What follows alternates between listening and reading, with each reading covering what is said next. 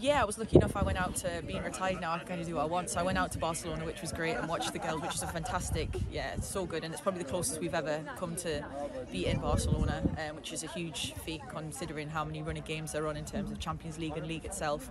Um, the Arsenal fixture was unbelievable to have that many people in to run Wolfsburg as close as they did, and unfortunately, like you say, that um, end of the game ended the way it did, which is um, and the, the injuries that they had and whatnot. So I think for I think it was a success for our league in terms of putting two teams on the map and how close we're getting to, to get one of us to the final.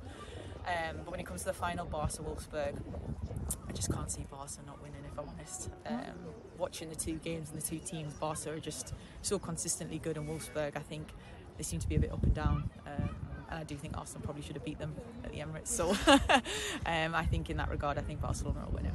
She's doing fantastic at Barcelona, but for me, Keira's been that good a player for the past two or three years. I just think she's snuck under the radar. Um, finally, in, in the Euros, I think we got to see her them how important she was for the Lionesses, but then going to Barca, it kind of really put her on the map. Obviously, it's a global brand and everyone talks about Barcelona, but then for her to go there, different country, different style of play, different way of living, um, and to thrive the way she has, like I'm just so proud of her because she's she's getting the applaud the plaudits that she deserves, and she's a fantastic player. We're so lucky to have her um, in the Lionesses so consistently.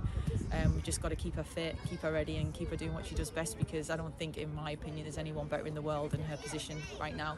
Um, and yeah, I'm just really proud of her that she's she's doing so well.